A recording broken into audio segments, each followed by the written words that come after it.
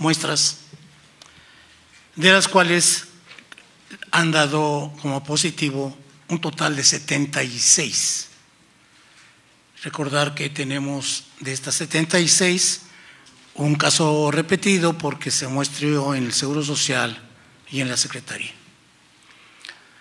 Tenemos en este momento muestras en espera de ser procesadas 18. En relación al mecanismo de transmisión, 14 de estos han sido importados, 19 fueron o han sido asociados a la importación y de transmisión comunitaria u horizontal se han contabilizado 16. A este momento tenemos 12 municipios involucrados, más un caso del estado de Guerrero. ¿Cuáles son los municipios, doctor? Sí, señor, estamos hablando de la ciudad de Puebla, de San Andrés Cholula, de San Pedro Cholula, Tezuitlán, Tlapanalá, Huejotzingo, Chalchicomula de Sesma, Izúcar de Matamoros, Atlisco, Chietla, Tulancingo del Valle, Tulcingo. Tuncingo del Valle y Chuautzingo. En relación hospitalizados, tenemos en este momento 17 en el Hospital de Cholula, en el Hospital de Puebla, en el Hospital Ángeles, en la Ciudad de México, un paciente en el Hospital del ISTEP, en el Hospital de la Beneficencia Española. Dos. Dos, dos pacientes, tienen razón, señor, en el CESA de Izúcar de Matamoros y en las Torres Médicas MAC. En razón a la situación que presentó las últimas 24 horas el, centro de contacto, el call center, se registraron 235 personas, de las cuales 185 fueron verdes, 19 amarillas y 31 rojas, con las cuales nos comunicamos y solamente cinco de ellas fueron calificados como casos leves. Al, en el acumulado de lo que lleva este, este call center en activo, tenemos 3.384 reportes, de los cuales 2.658 han sido verdes, 277 amarillos y 449 rojos. De estos, 63 personas que han usado este método para solicitar orientación han sido calificados como leves, a los cuales todos se les ha estado atendiendo. Hasta aquí el primer corte, señor gobernador. Gracias, doctor. El doctor Huerta quiere decirnos algo, sin regañar a los periodistas como siempre lo está haciendo. Prometo no, no regañar. De hecho, eh, quería enfatizar mucho de lo que se dijo en, en, la conferencia a nivel nacional. Prácticamente estamos entrando ya a, todo lo que es el escenario número dos en plena efervescencia tenemos transmisión comunitaria y en este sentido es muy importante el resaltar que el muestreo ya no se va a hacer eh, en cada uno de los reportes que tenemos como sospechosos. Se está implementando ya la plataforma para que el manejo se haga igual como se hizo con influenza. De los casos leves, insistimos, se va a muestrear al 10% de los casos leves y de los casos graves al 100%. En este sentido, esto nos va a permitir detectar mucho de lo que sucede en el ámbito comunitario para ver cómo se está comportando dentro de las unidades centinela que existen en el Estado. Son 28 unidades centinela, incluyendo las unidades de IMSS y de la Secretaría de Salud, en donde se van a estar eh, detectando justamente los casos de infección respiratoria, porque aquí ya involucra todos los casos de infección respiratoria, y nos va a permitir tener un estimado de cómo se comporta epidemiológicamente la enfermedad en nuestro estado.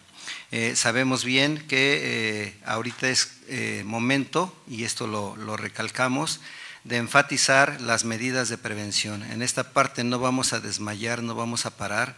Es el momento de que la gente sí se resguarde ya en el domicilio, que se respete la sana distancia, esto es muy importante.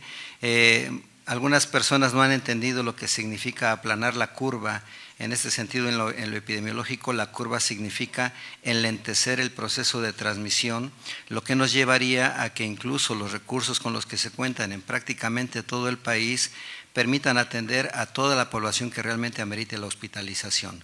Eh, aquí involucramos a todos, a todas las clases eh, políticas, religiosas, la población en general, a que todos sumemos esfuerzos para que este enlentecimiento en la transmisión permita que la morbimortalidad también eh, sea impactada de manera favorable a la población y tengamos los menos decesos posibles.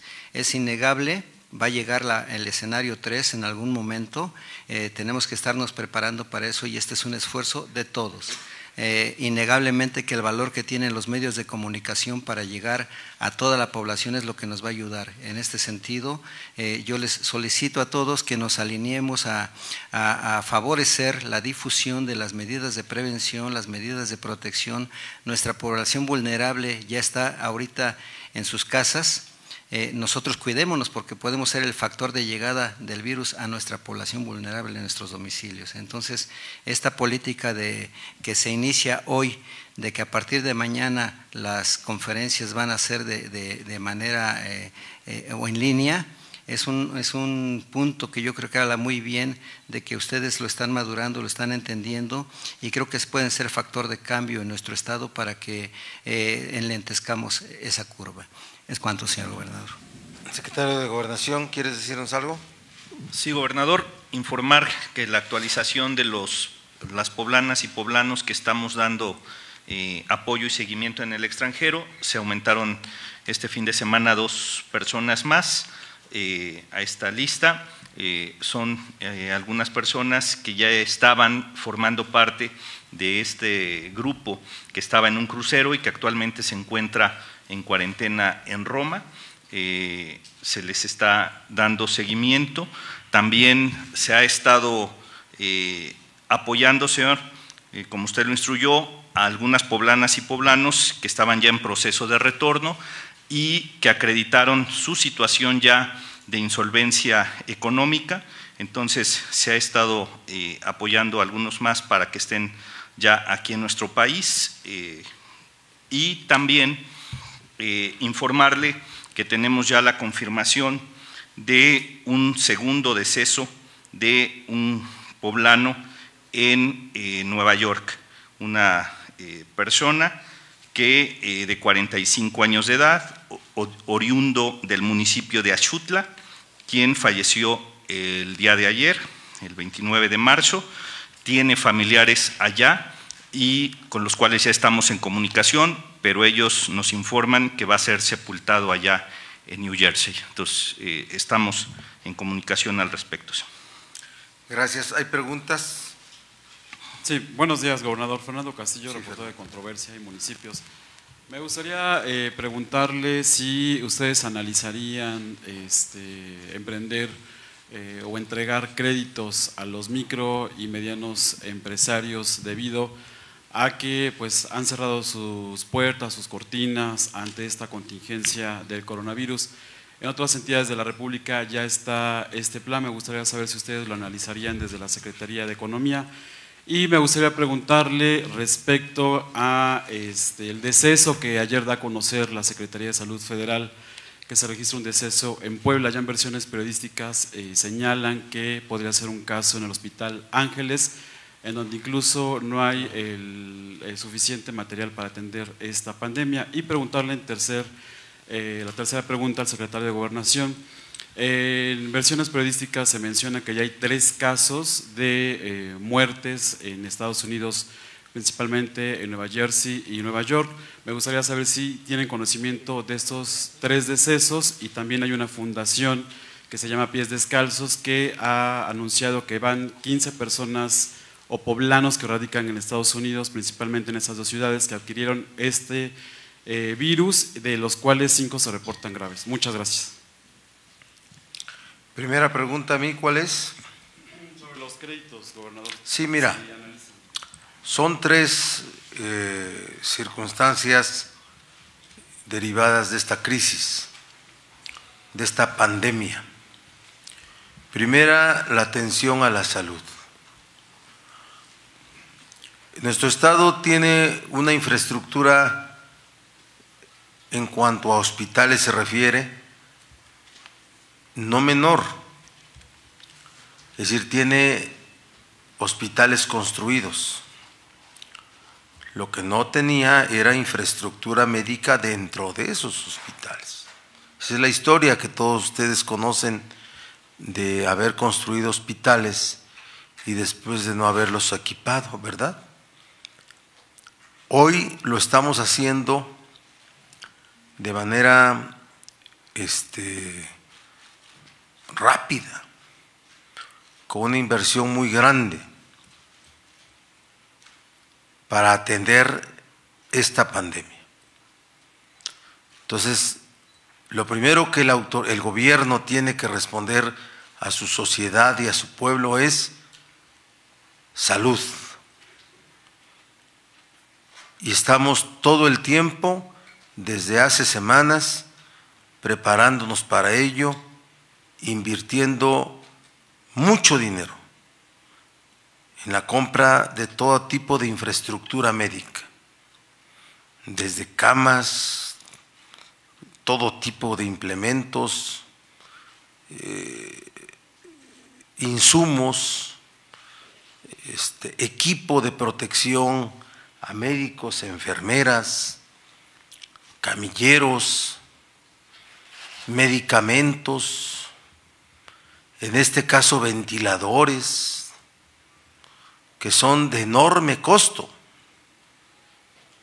Entonces, lo primero que un Estado hace es atender a su población del padecimiento. Es lo primero. Lo segundo es la subsistencia. La subsistencia. Yo puedo decirles que desafortunadamente no he visto la solidaridad que, debieron, que debió haber, haberse presentado. Los patrones despidiendo a trabajadores sin ningún dinero. Las trabajadoras del hogar yéndose a sus casas hasta con semanas sin haberles pagado. Jardineros, todo tipo de empleados de la, de la relación laboral informal que hoy está en sus casas sin trabajo y sin recursos para su subsistencia. ¿Cuál es la urgencia que está a la par de la atención a la salud? Proporcionar a la gente para subsistir. Una vez que salvemos esos dos momentos, tiene que venir la reactivación económica. Y claro que estamos trabajando en proyectos para apoyar a los micro, medianos, empresarios que han parado sus actividades. Y claro que vamos a meterle también dinero en esto. Pero primero es lo primero, ¿eh? Primero es la salud. Inmediatamente, al mismo tiempo, es la alimentación. Pronto mañana emitiré un decreto al respecto, donde se inicia un programa de apoyo alimentario, de apoyo universal, de entrega de ese apoyo alimentario en sus casas de las personas, no a líderes, no por agrupaciones, no por sindicatos, no por representación, se va a entregar en las casas de todas las personas. vamos a responderle a la gente como se debe. Tenemos que actuar con eficacia, con transparencia y con honradez. Y con honradez. Nunca alguien imaginó estos tiempos. Nunca. Y tenemos que tener la firmeza, tenemos que tener la grandeza para enfrentar esta situación de dificultad, de adversidad. Ante la adversidad, la grandeza. Por eso le pido a las gentes de Puebla, más solidaridad con los que, con los que están más cerca de ellos. Todos seamos más solidarios con la gente, todos. Así vamos a poder transitar mejor esta crisis.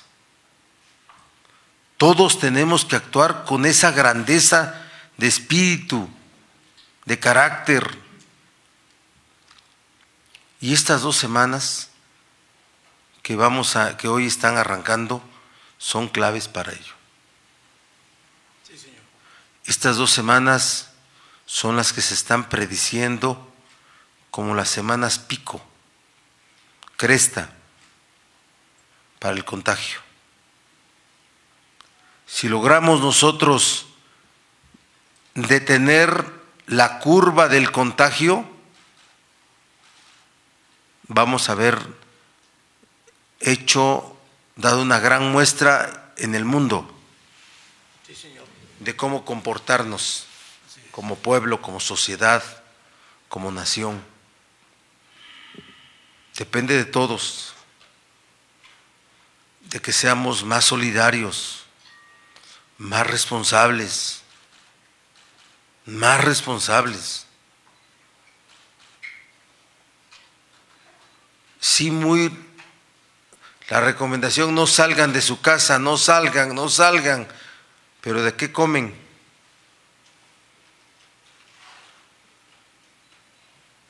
Hay que ser solidarios con la gente en sus necesidades primarias, salud y alimentación. El otro, la otra pregunta, ¿cuál era, este, Fer?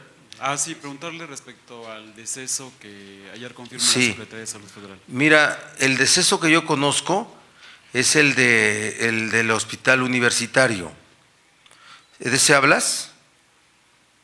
Sí, bueno, este, ayer en versiones periodísticas mencionan que es el caso del hospital universitario, pero también hoy en una columna se menciona que en el hospital Ángeles podría haber otro deceso ya. Pues mira, ayer Secretaría de Gobernación envió, o el sábado fue, el sábado, envió un oficio al Hospital Ángeles para que nos entregue información completa y veraz, porque tenemos dudas de que la información que está entregando tenga, falte, tenga cosas que no se están informando.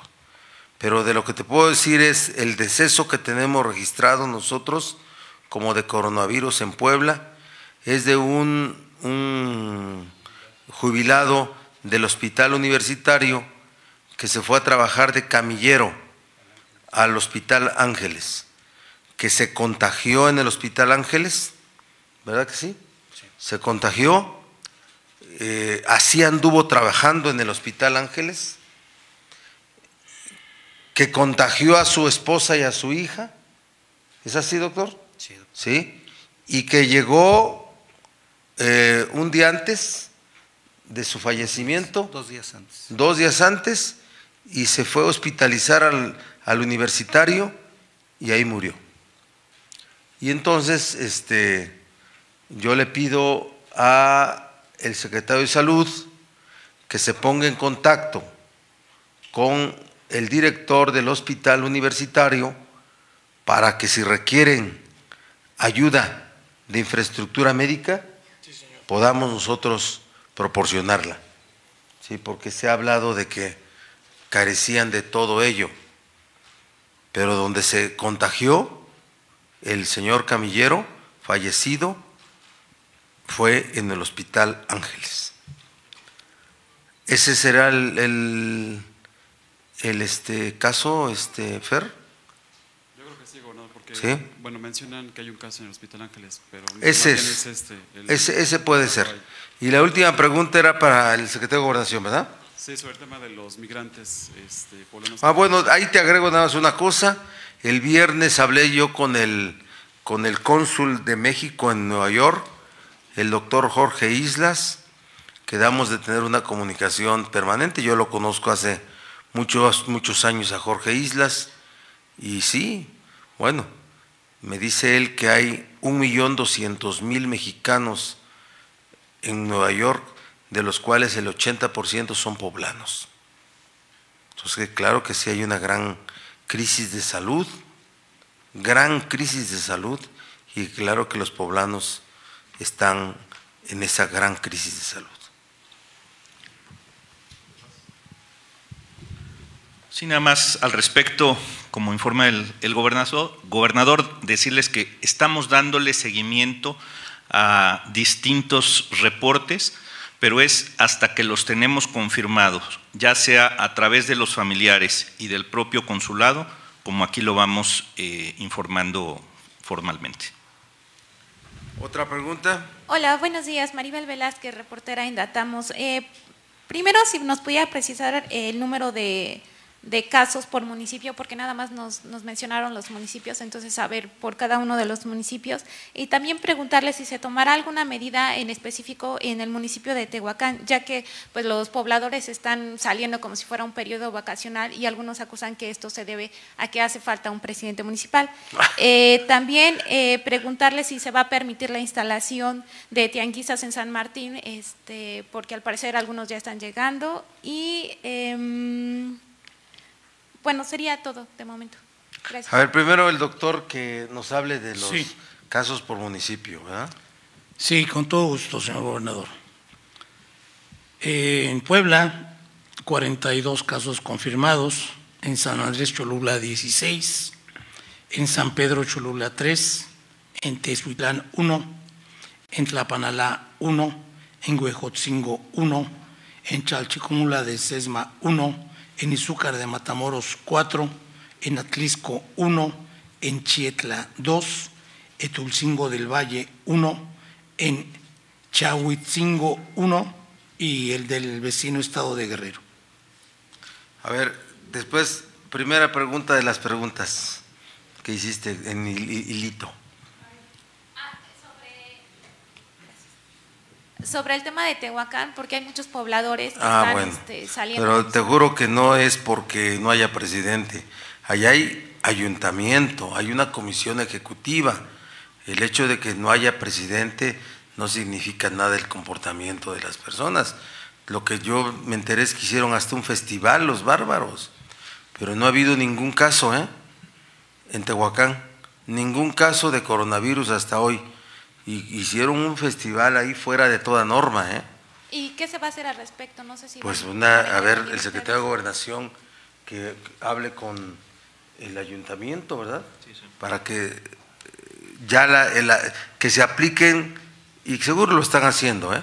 que se apliquen los este, protocolos que, que están dispuestos en los, en los decretos que he expedido. Y en el caso de San Martín, con los tianguistas, eh, ¿se tomará alguna medida?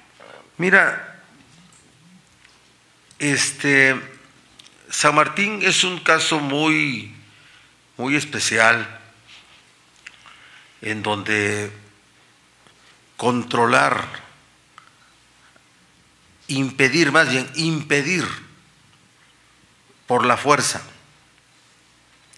llevar a cabo el comercio resulta riesgoso. La sugerencia es regularlo. Es regularlo para que no sea en un solo día, más bien que en el día del, del comercio tianguista se haga de un tercio, ¿verdad? A la semana otro tercio y a la semana otro tercio. Es una regulación. Aquí, por ejemplo, ¿alguien ha dispuesto el cierre de los mercados? ¿Alguien ha dispuesto el cierre de las centrales de abastos? ¿Verdad? De manera natural, la actividad económica, comercial, ha bajado en todos los ámbitos, en todas las áreas.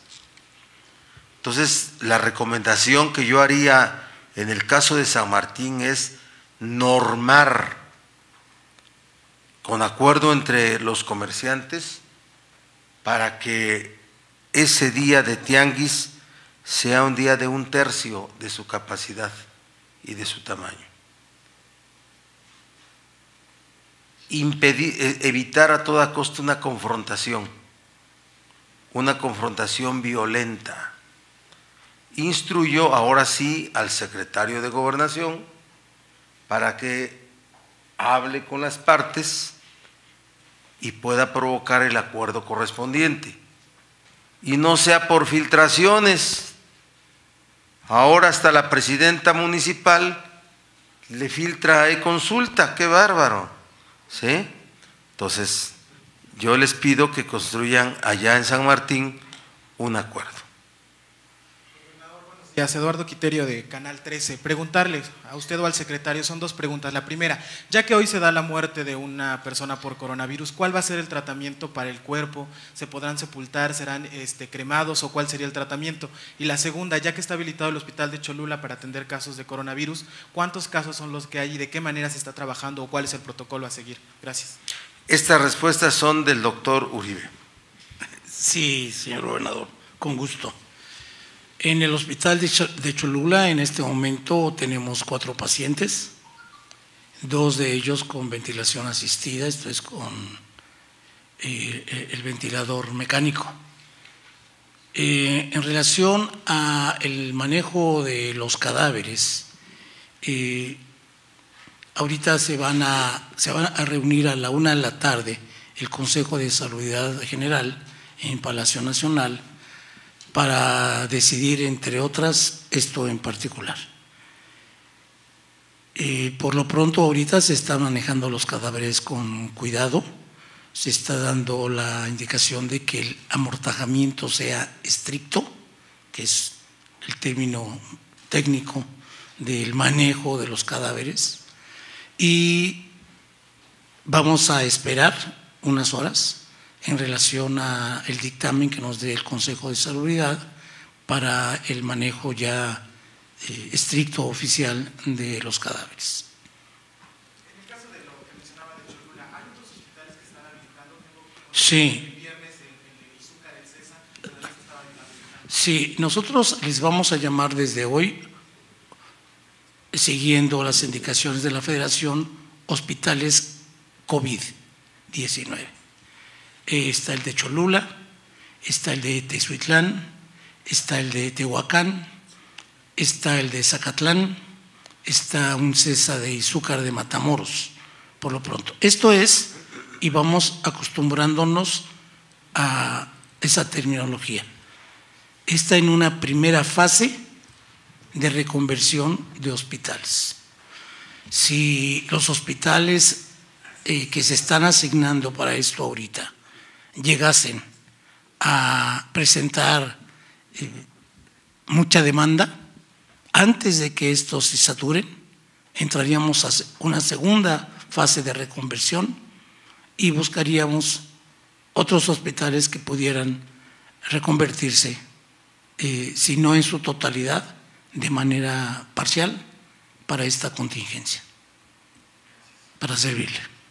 Buen día, gobernador secretario. Es Alberto Rueda de Televisa. Dos preguntas. La primera, saber si se han establecido mesas de trabajo con el personal de la Profeco para eh, precisamente evitar que haya algún tipo de abusos a, los consumidores. Ya en la mañana, precisamente, el director general de, de, la Profeco dio a conocer algunas medidas. Acá en Puebla se registró el aumento del precio de la tortilla, aunque los propios productores argumentan que no tiene que ver con el coronavirus, pero saber qué ha pasado ahí. Y en segundo lugar, gobernador, eh, preguntarle Durante el fin de semana se dieron a conocer dos casos de gobernadores quienes, bueno, se han contagiado con el COVID-19, es Adán Augusto de Tabasco y Omar Fayad de Hidalgo. Saber si usted ya se realizó alguna prueba, no se desea por supuesto, o si se tiene considerado eh, eh, realizar la prueba solamente para saber si todo está en orden al tratarse del Ejecutivo del Estado. Gracias. ¿Cuál es la primera? Profeco. Profeco, bueno, he tratado de buscar al director de, el director de Profeco Nacional, no me contesta el chocante, a pesar de que lo conozco hace años, fuimos diputados en el 2000, pero es un chocante, ¿sí? Me vale, ¿sí? Pero sí tenemos contacto con el delegado en el Estado, ya está actuando, me va a venir a ver al mediodía para que afinemos cosas, ¿sí? Estamos actuando en el Estado en coordinación con Profeco. Este, entonces vamos a estar pendientes de los precios, que no abusen de la gente, porque es el momento de los buitres que quieren aprovecharse de la situación para ganar dinero, acaparadores, gente que lucra con el hambre y la necesidad. Y en el caso de hacerme, si hubiera necesidad, me haré la prueba. Estoy, ¿cómo es el chavo del, Chapulín Colorado? Más que, más fuerte que no sé quién. No, este, cuando se haya necesidad, ¿qué le pasó a, yo ya hablé con los dos amigos míos,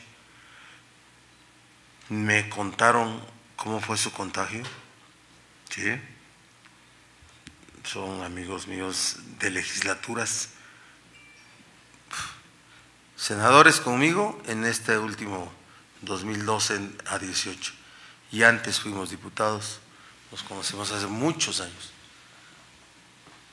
Y, sí, tiene que ver con contagio por procesos relacionados con, con casos importados, los de ellos.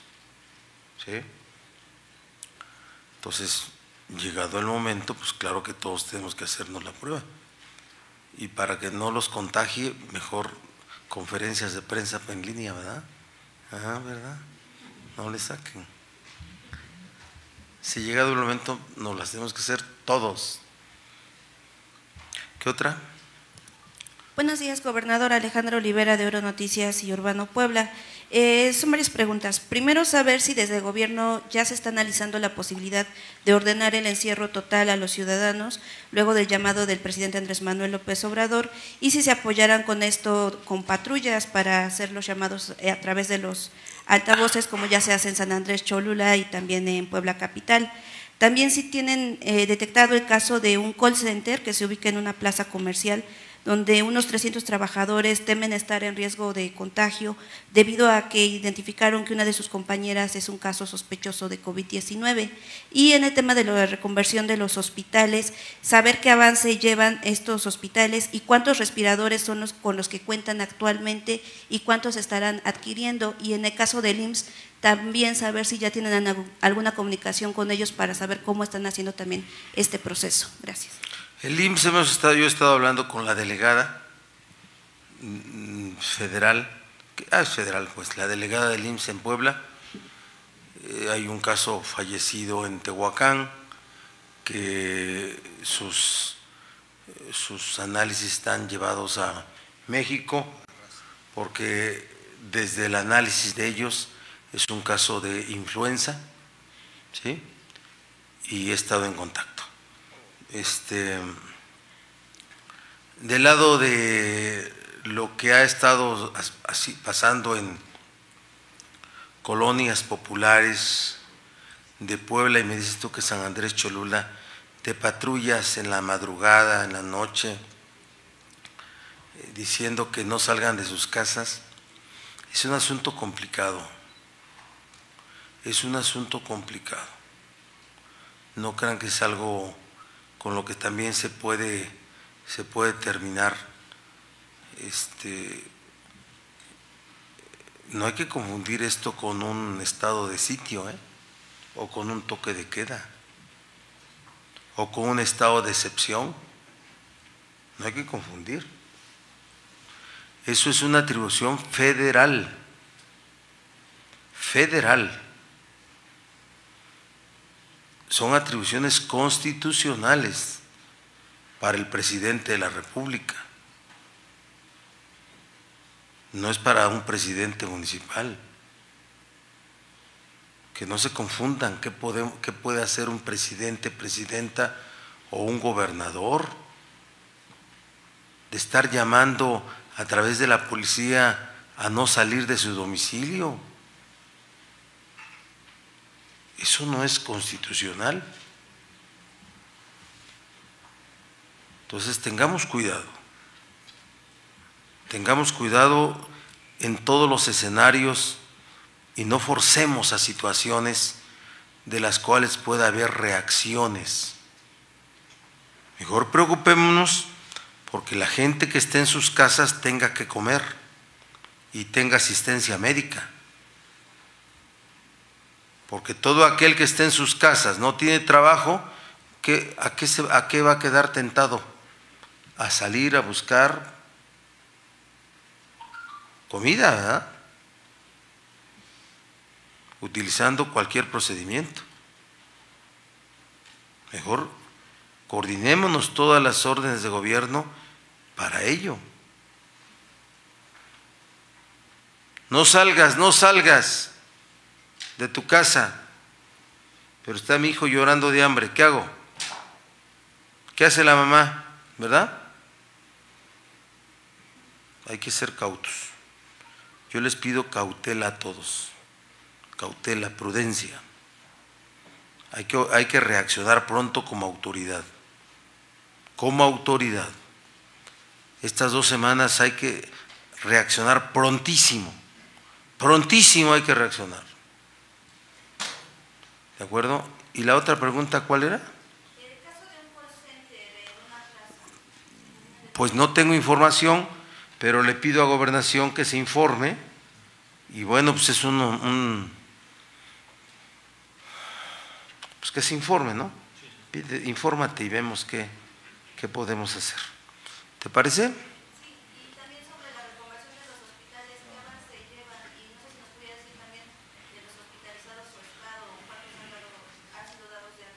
Tres, tres, ¿no? Sí. Tres ya fueron dados negativos. De, sí, con prueba, con segunda muestra de control, si me permite, señor gobernador. En relación a la reconversión de hospitales, hace un momento mencioné eh, los cinco que de la red de hospitales de gobierno se están haciendo esta reconversión. En el área metropolitana hay dos más y lo mencionamos la semana pasada. Eh, el Seguro Social ya reconvirtió una parte del hospital de San José, el cual está equipado, listo para aceptar pacientes. Y el ISTEP hizo lo propio. Quiere decir que en la área metropolitana hay tres hospitales, eh, uno del ISTEP, una parte del San José y el de Cholula, de la Secretaría, para poder atender en esta primera fase de reconversión a los pacientes que vayan ameritando hospitalización. Vendrá una segunda, vendrá una tercera fase, dependiendo cómo vaya avanzando esto. Estamos actuando eh, con conocimiento y midiendo la respuesta siempre oportuna de gobierno en relación a la fase en que se, está esto abordando. Estamos listos. Eh, hay que hay una situación adicional, señor gobernador. Eh, son nueve eh, personas que en su momento fueron confirmados por laboratorio, que cumplieron ya el periodo de observación y que a una segunda muestra, esa segunda muestra ya se negativizó estas personas están ya libres del coronavirus, por fortuna. Se curaron, pues. Se curaron. Buenos días, Martín Gutiérrez del Heraldo de Puebla. Tres dudas. La primera, si se va a permitir los desfiles del primero de mayo. Dos, si hay brotes de sarampión. Tres, eh, si hay alguna indicación para donadores de sangre. Gracias. No, pues yo creo que no. Lo del primero, de- ya lo había dicho pues además, ¿verdad? Ni primero de mayo ni 5 de mayo. Lo demás le toca contestar al doctor. Si me permite, eh, en Puebla no tenemos brote de sarampión. No se ha reportado ningún caso. Afortunadamente tenemos una red negativa y hasta ahorita no, ha- no se ha reportado ninguno. En la Ciudad de México es donde están eh, ubicados prácticamente el 100% de los casos de sarampión, más de 70 casos. El número exacto ahorita no lo tengo. Son creo que 77 casos los que se han reportado de, sarampión en la Ciudad de México. Lo que sí es preocupante es el hecho de que hemos identificado, incluso aquí en Puebla, gente que no se ha vacunado gente que no tiene la vacuna contra el sarampión, incluso niños, y estamos insistiendo mucho. Ahorita se está llevando a cabo la jornada eh, nacional de vacunación y pues es importante que, que se difunda que independientemente de que estamos hablando eh, de coronavirus, las otras enfermedades no se están descuidando. Estamos eh, todavía dando cobertura y estamos trabajando con dengue, estamos trabajando con influenza, se cubrió el 100% ya de vacunación para influenza en todo el estado. Estamos eh, eh, tratando de identificar si llega o no alguna enfermedad transmisible tipo sarampión justamente u otras exantemáticas. Oiga, ¿ya han encontrado casos de sarampión? ¿Han encontrado? No, te dijo que no. Ah, ok, gracias.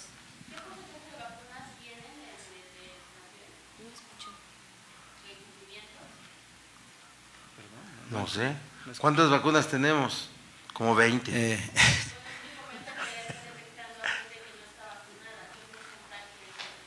Ah, no, no, el porcentaje no lo tenemos. Es, ese, a ver, eh, normalmente se da una cartilla de vacunación. El porcentaje de quienes no se han vacunado no lo tenemos porque no, no se ha llevado a cabo un registro a este respecto. ¿sí? No tenemos el porcentaje de gente no vacunada todavía. Violeta García, reportera de eh, Ultra Noticias. Eh, A mí me gustaría que alguien de los presentes me dijera si va a haber algún subsidio para las familias que tengan o que padezcan el COVID-19 o eh, tiene que pagar directamente la persona que, que está enferma. ¿Cómo es el apoyo que se está dando económicamente para poder sobresalir de esta enfermedad? Gracias. ¿Pero qué, qué subsidio? ¿Cómo que subsidio? Si, Pues no, no, te- te- te- se te ocurrió, la verdad. si los gastos corren por parte Los gastos médicos los pagamos nosotros, ¿de acuerdo? Y apoyamos en el, en el subsidio de alimentos, ¿de acuerdo? Todo es gratis, todo es gratis. Parece que no me doy a entender, ¿verdad? Todo es gratis. Salud y damos apoyo alimentario. Gobernador, buenos días. Abel Copa del Diario El Popular. Siguiendo la pregunta de mi compañera en, torno a la condonación del ISN, ¿cómo va el tema? Es preguntarle y también al secretario, no sé, eh, enfatizar, ya nos habían comentado antes, pero enfatizar sobre las medidas en los penales. Eh, ¿qué- ¿Cómo va ese proceso y si se va a reforzar o cómo, cómo se está llevando a cabo? Gracias. Yo te contesto las dos. El ISN, llegado el momento, no ahorita. Usted hay que salvar, invertir en asuntos de salud y de subsistencia. ¿De acuerdo? ¿Sí? Eso es lo que hay que invertir. El tema de ICN ni siquiera se ha este, provocado para que pueda ser condonado. Habrá tiempo para ello. Y el tema de, de reclusorios, ya están en marcha las medidas, ya tenemos todo sanitizado, ya, ya están este, filtros, ya se dividieron los, los reclusos, está todo previsto. Esperemos que, que no las visitas también eh, se dividió de, de- las visitas eran de martes a domingo. El único día que no había visitas era el lunes. Hoy las visitas solamente son el sábado para procesados y el domingo para sentenciados. Ya está en marcha. Solo si nos voy a precisar de cuántos penales estamos hablando. En Puebla hay tres penales estatales, San Miguel, Tepeji y este, Ciudad Cerdán. tres penales regionales, Cholula, Tehuacán y Huauchinango, y 17 penales distritales. ¿Qué tal, gobernador, eh, secretario? Buenos días. Eh, Jaime Carrera de Contrarréplica Puebla.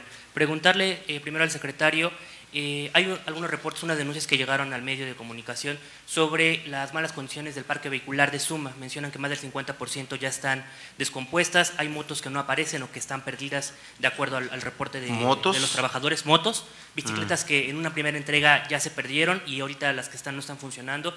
En general el 50% del parque vehicular de Suma no está funcionando y hay fotos y videos de que no sirven eh, pues muchas partes incluso de los vehículos que están tirados y no, no están en funcionamiento.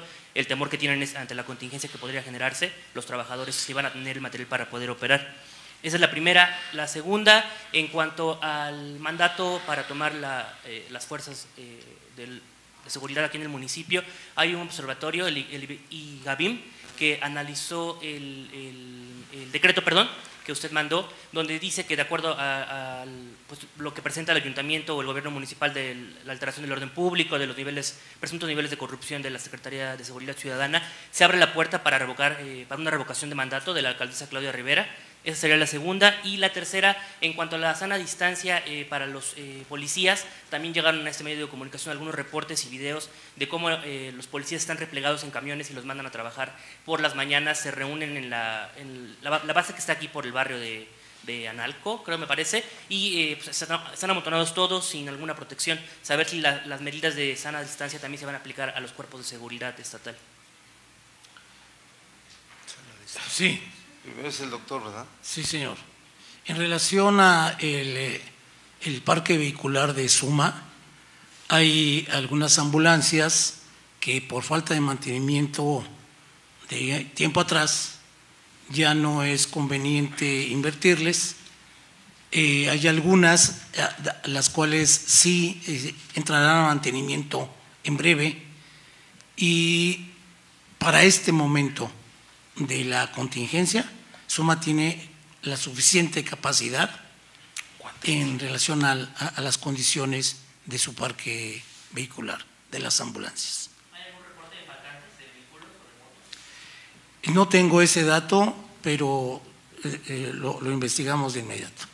Pero te debo decir que hay, yo tengo en proyecto la compra de ambulancias para Suma, que espero podamos hacerlo nuevas. Sí, pues claro, imagínate lo que nos dejaron. Pero en fin, esas son esas historias tan tristes. ¿sí? Después, ¿qué pregunta tienes? que se podría abrir la puerta para una posible revocación de mandato de la alcaldesa por la alteración del orden público, todo lo que usted señala en el, en el decreto. Pues no quiero opinar sobre eso. De verdad no quiero generar una polémica sobre ese con ese tema. Ahí va pronto a haber situaciones relacionadas con el mismo decreto, pero no quiero opinar, eh, quiero que me disculpes. ¿Y el otro, la última? Pues sí, debiera haber sana distancia, claro que sí. Debiera haber sana distancia para todos los que estamos trabajando, miren. ¿Sí? Todos. Ustedes mismos, ¿no? ¿Verdad que sí? Entonces, los policías de qué están hechos? Están hechos de lo mismo que nosotros, carne y hueso. Y entonces, todos debemos ser tratados iguales. Voy a hacer esa recomendación a todos. Claro que sí, buena observación. Gobernador, buenos días. Secretario Hugo Rodríguez Solares de Expresiones Radio. A mí me gustaría saber principalmente aquí con dos puntualizaciones para el secretario de de gobernación. Una de ellas es que hace unos momentos en, el municipio de Tecamachalco, bueno, pues los policías se fueron a paro, eh, obviamente pidiendo algunas exigencias. Y mi segunda pregunta sería, bueno, ¿qué va a pasar obviamente con la seguridad de Tecamachalco? Y la segunda sería, el, eh, en el municipio de, retomando lo de San Martín, Texmelucan en el Tianguis, el CORP de la organización G24 de todos modos anuncia, a pesar de lo que acaba de decir ahorita el gobernador, que bueno, pues ellos van a trabajar porque ya tienen indicaciones por parte de gobernación precisamente para que sus 20 mil agremiados puedan, pues ahora sí que participar en el tianguis, saber si se va a, pues precisamente a, trabajar o, bueno, o, lo va, o se va a hacer como decía el gobernador, pero ya este, prácticamente pues lo van a hacer hoy. Entonces, saber si se hace o, o se va a llegar a los acuerdos que dice el gobernador. Sí, decir que eh, no tengo ahorita el reporte, estamos aquí en la conferencia del asunto de Tecamachalco, pero por supuesto eh, le daremos seguimiento, al igual que a la instrucción que acaba de dar a conocer el gobernador respecto al tema de San Martín Texmelucan. Yo solo quisiera puntualizar que en el caso de la Secretaría de Gobernación es absolutamente falso que se haya emitido eh, ningún tipo de autorización respecto al tema del tianguis, no nos corresponde, pero sí hemos dado un seguimiento institucional como a todos los ciudadanos que acuden eh, al tema, brindando la información tanto a todos los ayuntamientos del Estado respecto a las medidas a tomar, respecto a los decretos que ha emitido el señor gobernador, y lo mismo se ha hecho con los distintos grupos de comerciantes de todo el Estado. Secretario, buenos días. Miriam Espinosa de Puebla Noticias. A mí me gustaría preguntarle al secretario de Salud con estas personas que en un momento fueron, fueron positivos en la enfermedad y ahora han sanado, que nos ha estado informando. ¿Cuál es el procedimiento si es que ellos hicieron cuarentena en su casa o si estuvieron en un hospital? ¿Cuál es el procedimiento para que regresen a vivir con sus familiares después de esta cuarentena? ¿Qué es lo más recomendable hacer con estos casos? Pues ya están sanos. Sí, ¿Caldo de pollo para empezar? Eh, todos aquellos que en su momento fueron positivos y que su estado de salud no ameritaba hospitalización, estuvieron en aislamiento domiciliario por el tiempo indicado. Al cumplir este, se les hizo una segunda muestra, eh, fue negativa y están sanos. Eh, durante el tiempo de aislamiento domiciliario se les dio la indicación tanto a ellos como a los familiares de las medidas que deberían o debieron de haber aplicado para disminuir el riesgo de contagio eh, durante este periodo de aislamiento. ¿Habría que qué? No, no. Eh, se, está, se lleva a cabo recordar que habíamos comentado ya muchas veces, eh, higiene personal y limpieza de todo, todo aquel eh, mobiliario o equipo que se pudiera tocar. En, las casas y de igual manera, varias veces al día, eh, hacer la limpieza pues, de la mesa del comedor, de los utensilios de cocina, de las perillas de las puertas, en fin, Miren. Se les entregó una hoja con miren, las indicaciones. Este es un, es un dato que no puede ser justificación de nada, pero que es un dato que sirve para racionalizar el momento, que es muy difícil racionalizar el momento. ¿Saben cuántos enfermos llevamos de influenza en el año? Mucho más de que de coronavirus. ¿Y saben cuántos muertos llevamos de influenza? mucho más que de coronavirus. ¿Sí? Sí conocen esa información, ¿verdad? Solo que estamos enfrentando en este momento en el mundo una pandemia que se llama coronavirus. Y por eso la, la poca racionalización que tenemos del momento. Un dato nada, nada animador es que quien sufrió de coronavirus puede volver a contagiarse de coronavirus. ¿Sí? No crean que quede inmune. Así de grave. O sea, quien regrese a su casa de un hospital porque ya resultó negativo, tiene que guardar la sana distancia. ¿No es así, doctor Huerta? Eh, parte, eh, señor gobernador. Ah, como que quisiera, quisiera comentarles esto. Eh, en datos duros, en datos duros, eh, coronavirus tiene una letalidad global de 4.7. ¿sí? Por eso, Estamos hablando ya- de una letalidad quien ya salió de la enfermedad. 4.7, ¿sí? Eh, influenza en México tiene una letalidad mayor del 5%, más alta que coronavirus. Ahí está. Influenza en Puebla tiene una letalidad mayor de 7%, en Puebla, Sí. mayor que la del coronavirus. Con esto no quiero minimizar la importancia del coronavirus, son datos estadísticos que están bien corroborados. Por otra parte, eh, el hecho de que el- el- la letalidad del coronavirus sea, me- sea menor no disminuye la importancia de estarlo tratando porque es altamente transmisible. Su tasa de transmisibilidad es mayor que la de influenza. Por eso la insistencia en los cuidados, por eso la insistencia en las precauciones que se deben Sí, tomar. doctor, contésteme la Porque- pregunta que le estoy diciendo. Ah, en El cuanto que- a la inmunidad, todavía existen eh, dudas respecto a la durabilidad de la inmunidad.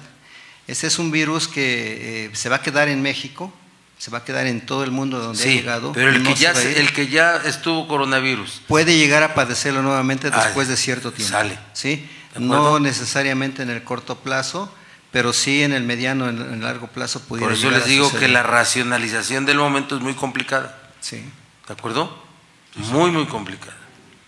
Y por eso estamos actuando así, ¿verdad? ¿Sí?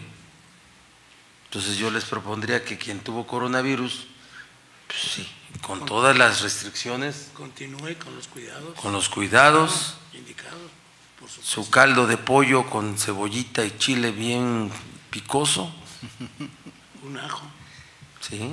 No, y recordarles que hay otros coronavirus circulando en México desde hace tiempo. O sea, no es el único coronavirus que afecta al ser humano. Son varios los tipos de coronavirus. Sí, pero el afectan al COVID-19 hombre. es el- El COVID-19 es, es el que nuestro. Ahorita está en, en el, en el problema y es el que hay que atacar ahorita. ¿Qué? Yo le quiero preguntar dos. Ah, bueno, continúe. no ya, ya, ya. ok. Yo le quiero preguntar este, dos temas. ¿De qué medio? De seguridad. Violeta García de Ultra Noticias. Sí. El día de hoy eh, sale a denunciar el diputado local eh, Rubiel González de Tlachichuca que fue asaltado en su domicilio por un comando armado, saber qué reporte tiene en ese sentido y están demandando mayor seguridad. Eso por un lado. Y por otro lado también preguntarle si está contemplado el municipio de mm, Coronango en hacer cambios en sus perfiles de los mandos. Si bien la semana pasada ya nos dijo algunos, saber si eh, entra también Coronango y qué otros municipios estarían en esta posibilidad. Gracias. Sí, tuve información por la mañana de lo que le ocurrió al diputado Erubiel, no la, me lo hizo saber el secretario de Seguridad Pública, lamentamos los hechos, lo condenamos, este, allanaron su casa, golpearon a él y a su esposa, los metieron en una cajuela y los dejaron encerrados y se fueron. Es un grupo armado, efectivamente. Entonces hay que, hay que garantizar la seguridad pública de todos, pero ahorita en particular del diputado. Más tarde voy a comunicarme con él, ¿sí? Este es lo que yo sé hasta este momento y seguramente lo vamos a esclarecer, porque conocemos muchas complicaciones que hay alrededor de lo que está ocurriendo allá en Tlachichuca, ¿sí? Conocemos muchas complicaciones. Y respecto a lo otro que me decías, ah, sí, no, Coronango no lo tenemos en la, en la ruta de cambio, sí, Juan Cebonilla, ya está Huejotzingo, que se va a cambiar yo creo que hoy o mañana, este, San Martín Texmelucan, este, Amozoc ya se cambió, ¿sí? Tehuacán ya se cambió, ¿sí? Vamos a ver.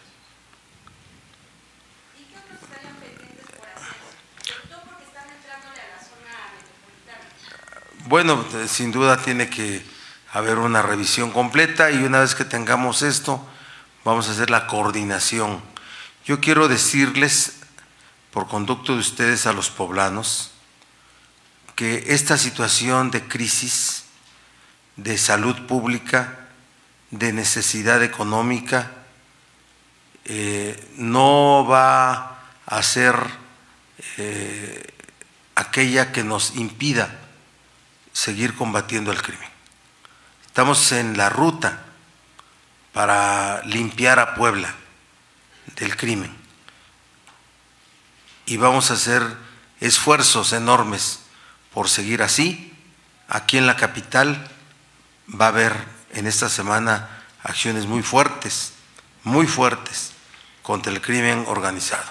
Ustedes lo van a ver porque no vamos a parar hasta limpiar, hasta limpiar la ciudad capital de crimen organizado y de delincuencia.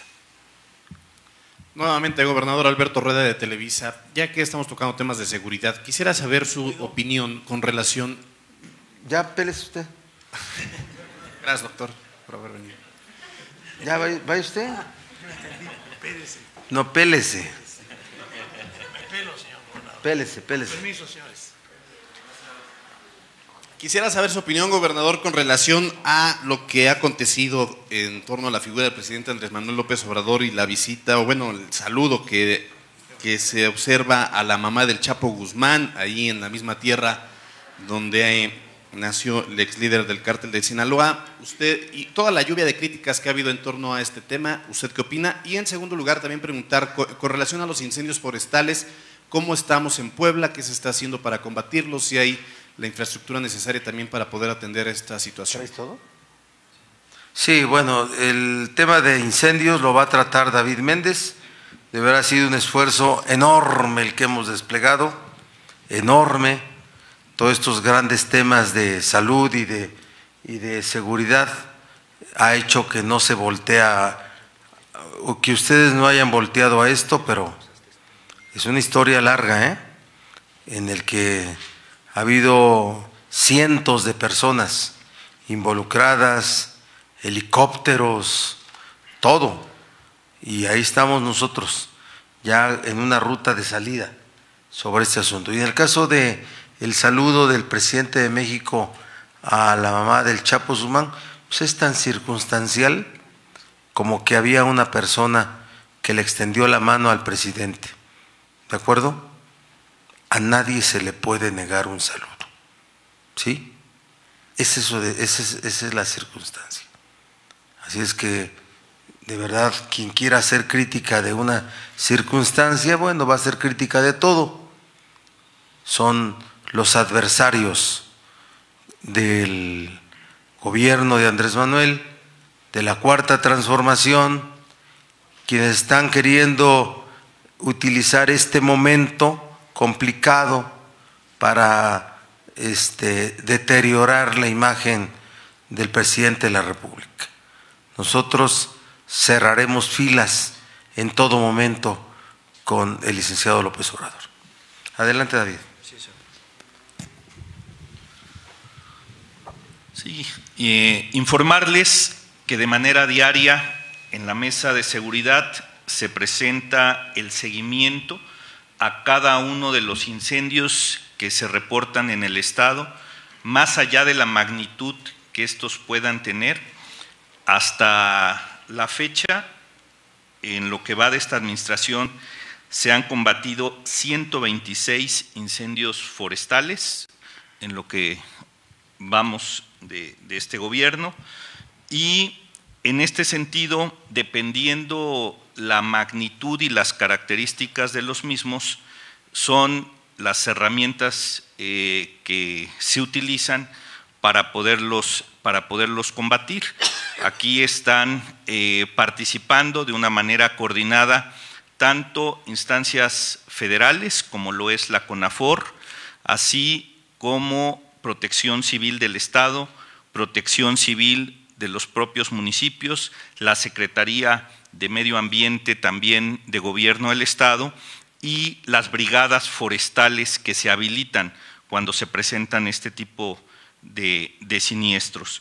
Eh, estamos ya prácticamente iniciando eh, la temporada en nuestro estado de incendios. Esto tiene que ver obviamente con un tema del clima, del calor eh, que se tiene eh, en el estado y también eh, influye mucho lo que son, de acuerdo a lo que nos han informado los especialistas, de la lluvia que haya existido también incluso el año anterior para determinar qué tan seco está el territorio del Estado.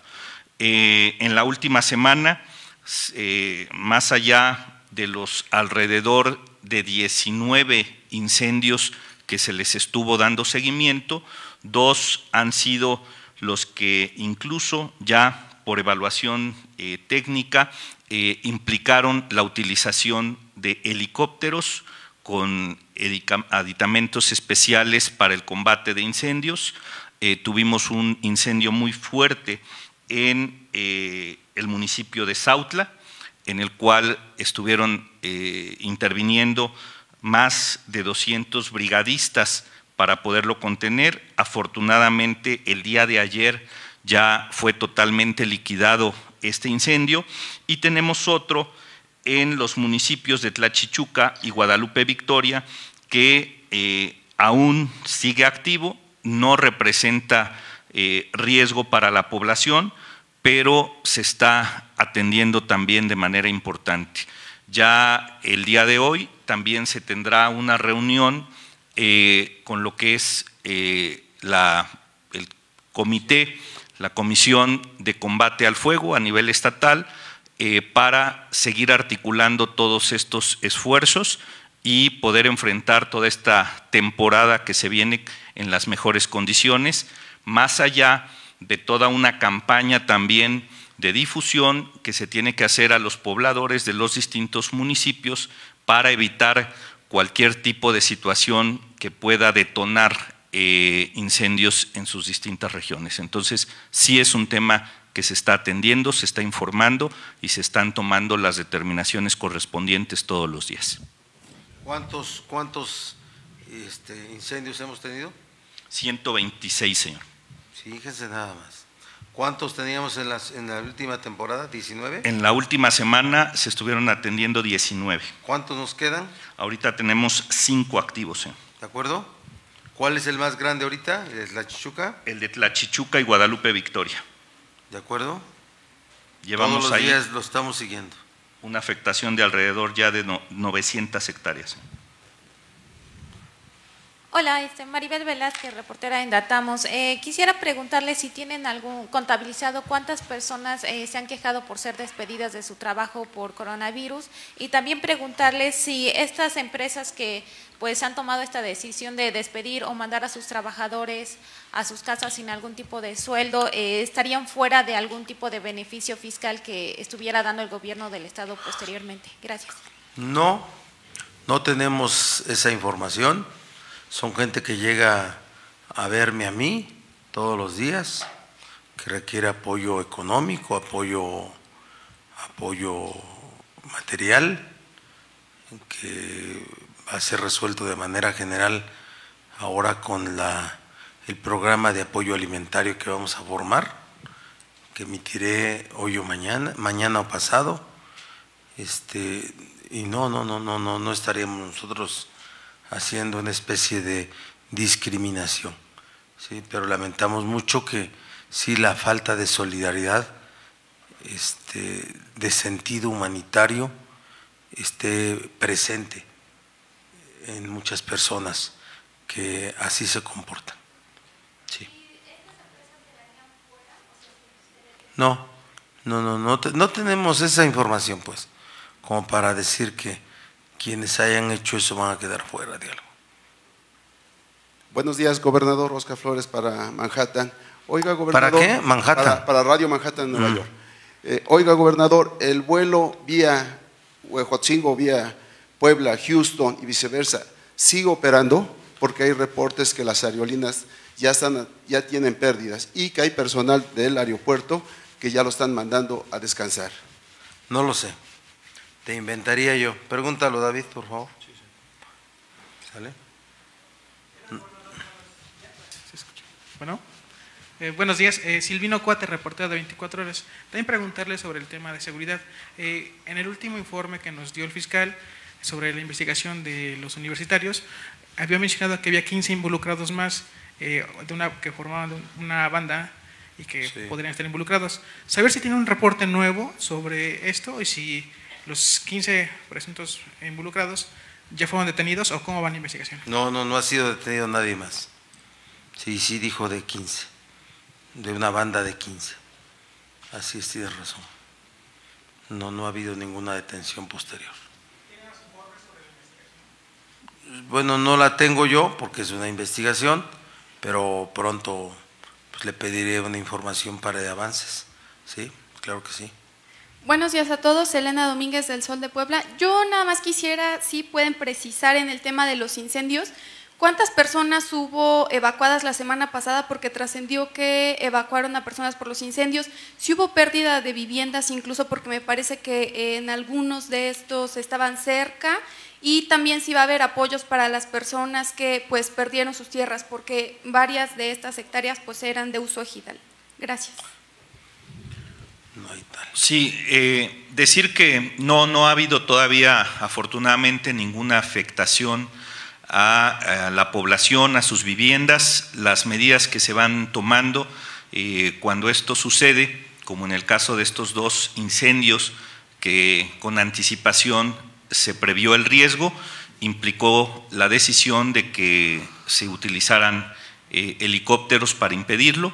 Sí hubo una evacuación de algunas comunidades, eh, fundamentalmente de Cuyoaco y de Sautla, para evitar cualquier tipo de riesgo, pero afortunadamente no eh, pasó a mayores. Como ya informé, se pudo controlar el mismo.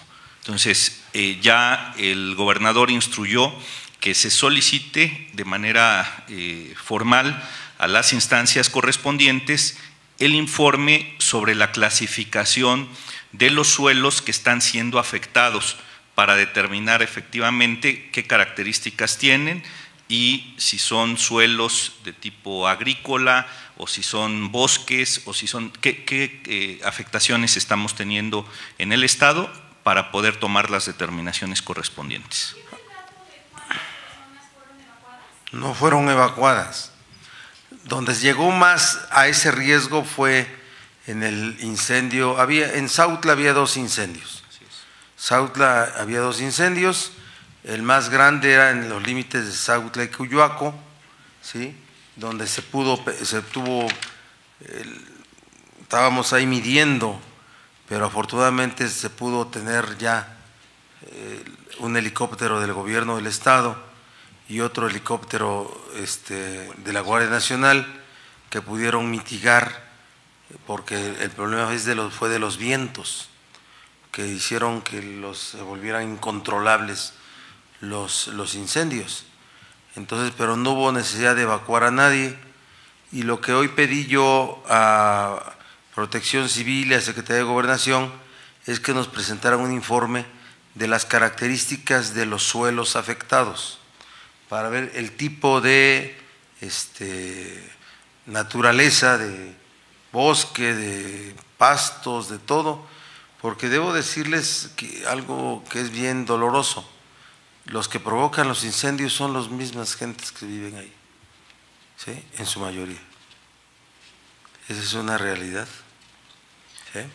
Los pastores, las gentes que quieren tener tierras disponibles y prenden eh, eh parte del bosque para, o de sus tierras, pues, para poder sembrar. Todo eso ocurre, ¿eh? es una realidad que ocurre cada año. Pero como este año va a haber dos grados más de calor en el mundo, vamos a tener estos fenómenos de manera mayor. ¿Sí? ¿Me explico? Explíquense muchas cosas a partir de eso. Dos grados más de calor en el mundo. ¿Sale?